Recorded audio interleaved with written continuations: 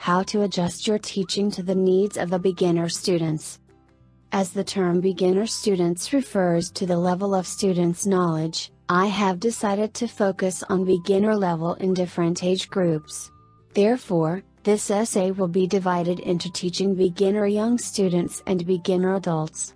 My definition of a beginner student is the following regardless of age, this is a learner with very little or no previous knowledge of the English language. However, there are certain things we should aim to know about every age group.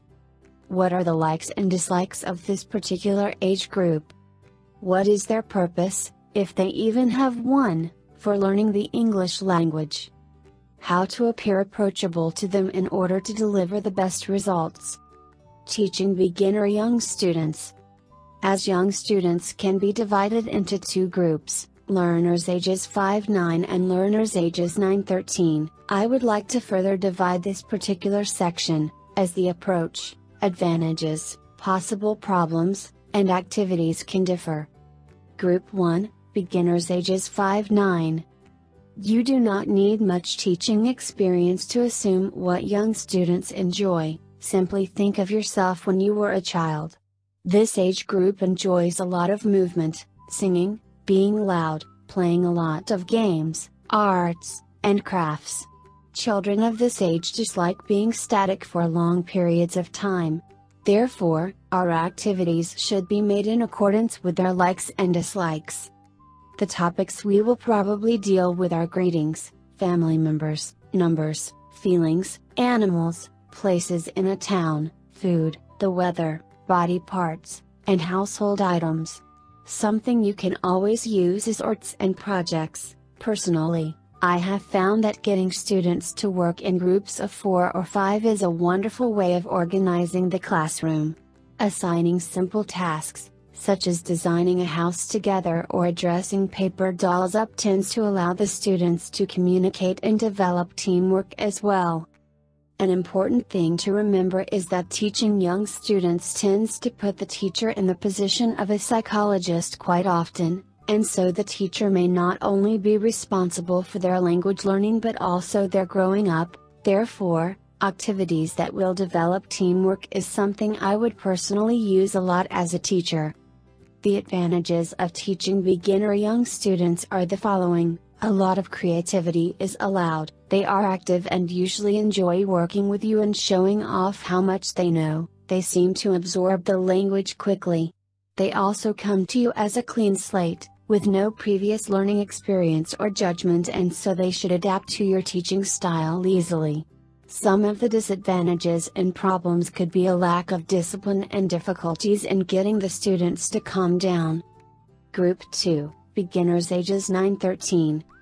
Although the topics you will be dealing with while working with this group are almost the same as when teaching Group 1, ages 5-9, the activities you would do are very different.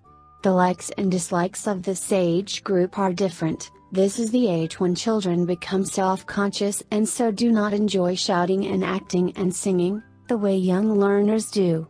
They enjoy talking to their peers, music, popular culture, social media, and dislike anything they deem embarrassing, such as pretending, impersonating, etc. Therefore, you should adopt certain activities to them.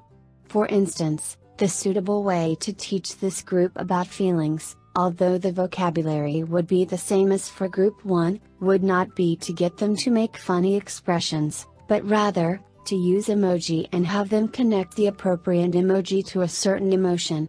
TPR is always encouraged, although less than with younger learners. At this age, you could aim for more pair work and group work that can be done solely with your encouragement, rather than too much guidance, as would be the necessity for Group 1. The biggest advantage of teaching beginner young students ages 9 to 13 for me personally is not having to spend as much energy on movement as you do with Group 1. However, possible problems could be higher, students choosing to misbehave because it's cool, for example. It is also plausible that these students will not have a purpose for learning, unless they enjoy English, American pop culture, so you should do your best to give them one teaching adult beginner learners. Although it seems like teaching adult beginner learners would be easy, this group of learners could even be the most challenging one. Despite the obvious advantage of teaching adults, they have a purpose for learning English and will be focused, they also come with a previous learning experience. It is possible they will not be likely to adapt to your style easily and will also feel rather self conscious of making mistakes. Creating a pleasant and stress free learning environment and grading your language should take care of this, though. You needn't be too stressed about activities, as, for adult learners, it is highly appropriate to use worksheets, but you should still try to keep them creative. Another potential issue is creating a balance between topics and your learners' expectations. It is possible they will have a limited amount of time for learning and will want to achieve as much as possible. I believe the best way to teach adults is situational learning as this gives them a sense of fulfilling their purpose, they will be able to use this knowledge in real life. Are you ready to teach abroad?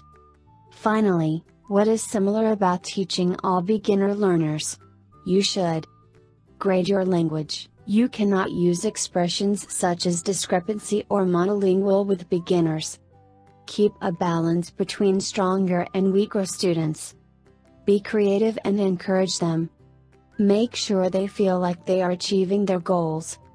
As teachers, we should try to provide beginner students with a motivation to progress to higher levels. Speak with an ITTT advisor today to put together your personal plan for teaching English abroad.